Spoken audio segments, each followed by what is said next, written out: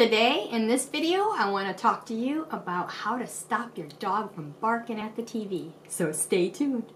This is a request that I cannot believe it's taken me so long to address in a video, but I have a lot of people asking me, how do I stop my dog from barking at the TV, at other dogs, or, or squirrels, or things like that. As always, it's gonna take training and patience and time. Whenever we have a behavioral issue, something that we're trying to change or stop, it's important to remember that we're untraining a behavior versus teaching a good behavior from the start. So at the end of this video, I'll actually talk about how to prevent this from happening so that if you have a puppy or a new dog, you can get ahead of the game. So first things first, we never know when your dog's trigger is gonna cross that screen, so you have to assume it's gonna happen at any point. So that means you always need to have treats on the get-go because if we want to teach our dogs not to do something, we want to teach them what we'd rather them do. So it's not just be quiet. In the beginning stages, it's I want you to kind of come over and see me. And the reason is because I have something better. I'm more exciting than what's on TV. And depending on how long this has been going on with your dog, this could be really challenging. So make that treat, that motivator high.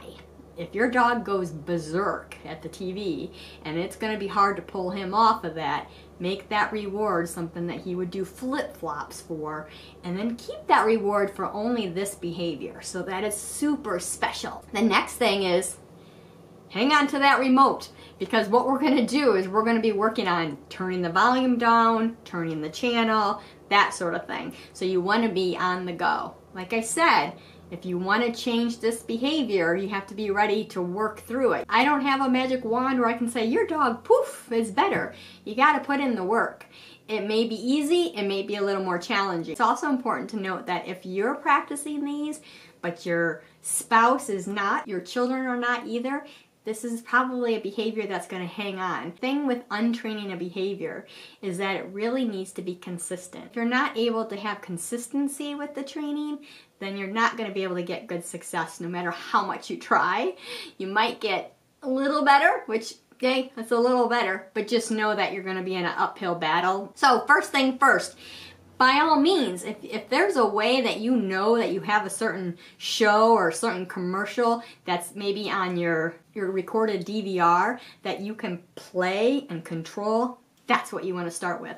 So if you know that, wow, this program has this commercial and it's been on the recorder, I want you to go there. I want you to go to that program. Or maybe you hit the internet and hit YouTube and you click on squirrels on TV or dogs, dog training, you know, that sort of thing. So now we have a little bit of control because you can stop and play and rewind, stop and play. So what you're going to do is we're going to amp down all that excitement. So when we think about TV and the dogs getting excited about whatever it is are getting excited about, other dogs, cats, squirrels, whatever, it has visual and audio going on. So what we're to do is you're to pick one to work on at a time. If we're to pick the video, then turn your audio down. So hit that YouTube, put it on your big TV, and be ready. The volume's down, your dog's up and around, you have your nice high value treats, you're all ready with the remote in one hand to hit stop or pause, and your hand poised on your pocket getting ready to grab those treats. So you're gonna start the video and out comes the dog from TV. As your dog starts to, to see the dog on TV, hit your pause and yes and throw some treats. Your dog may or may not have responded and either is fine. So if he didn't respond, even better because now we're really starting to desensitize your dog to whatever that is. And again, whether it's a dog or a squirrel or whatever, search YouTube, find your trigger of choice. And if he does bark or carries on, it doesn't matter. Just go ahead and throw those treats anyway. Don't worry, you're not reinforcing the behavior. What we're starting to do is we're going to condition your dog that when they see X, treats occur. Doesn't matter what they respond like, because even if they go bonkers, treats are still going to come. Because after repetitions, what happens is instead of going bonkers, they're going to go, oh, that means mom or dad's going to toss out those treats. And then that's how we start to get rid of that rambunctious behavior. Because now they're starting to anticipate that that means this. That's the whole concept of desensitizing and counter conditioning. We're taking something that's a stimulus and we're amping down the excitement level again by turning off the volume and we're conditioning them that when that happens this happens.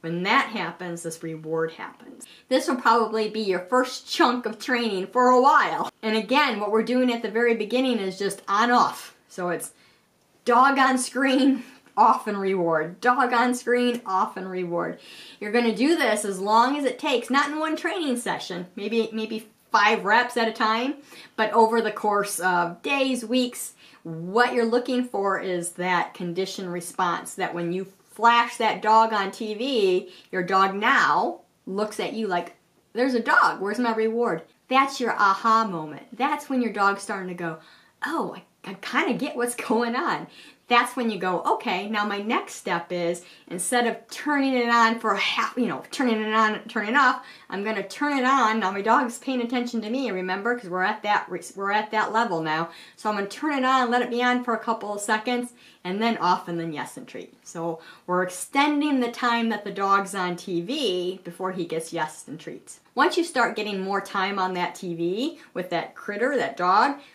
squirrel, whatever, you're triggered, you can tell him, oh, you're such a good boy. What's a good job? You're so smart. Yes, treat.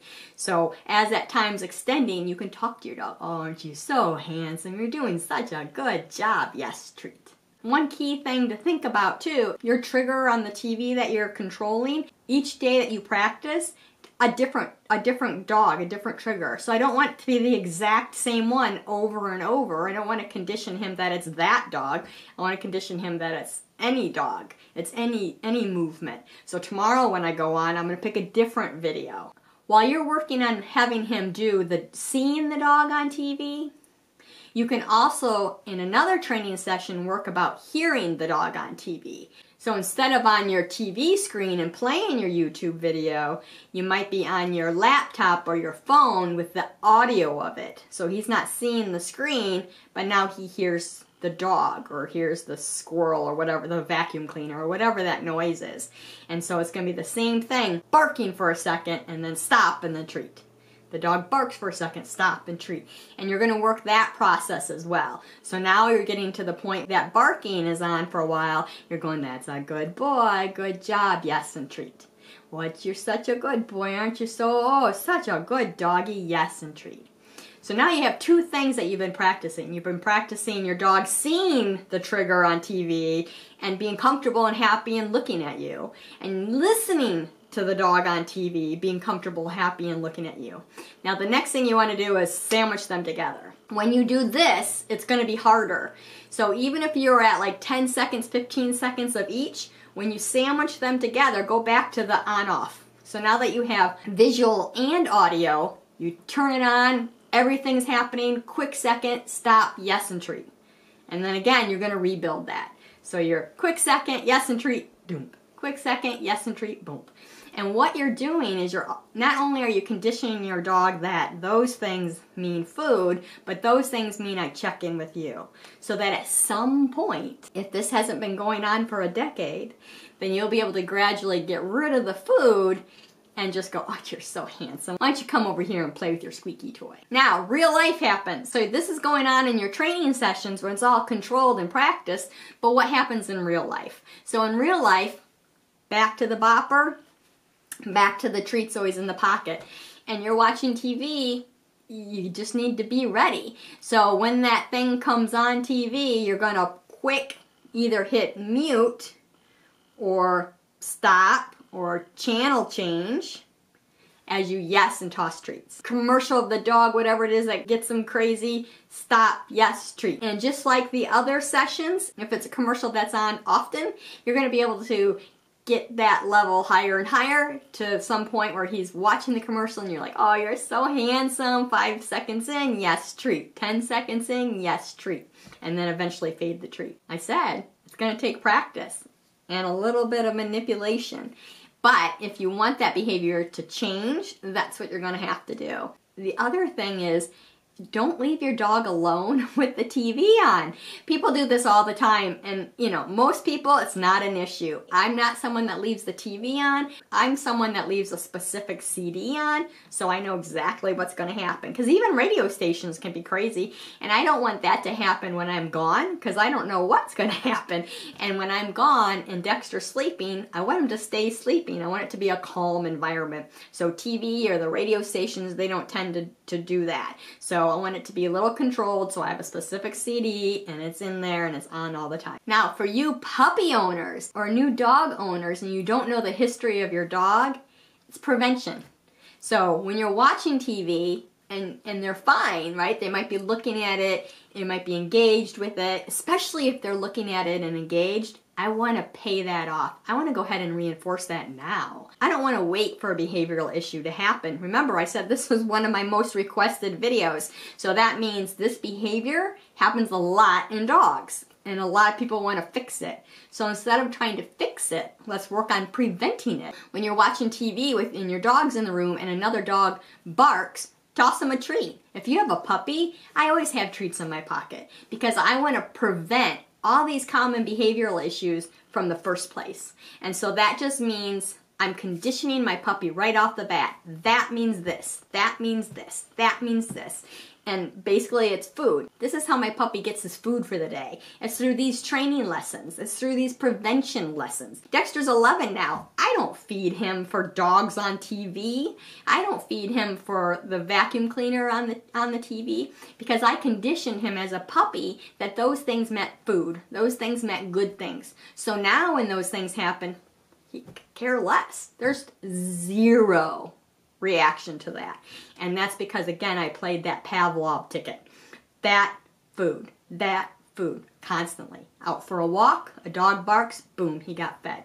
Out for a walk, we're passing a car backfired, boom, he got fed. I don't wait for problems to happen. So if you have that puppy or that new dog, do a little prevention right now. Go ahead and prevent it for that first year. You'll be thanking me in the long run because you'll have a happy, confident dog that's no worry. If you thought this video was helpful, please hit the thumbs up. Don't forget to subscribe to the channel, hit that bell icon, and you'll be notified when I upload a new video.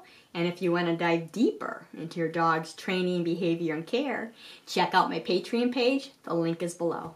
Until next time, remember to pause and enjoy life, and I'll see you in the next video.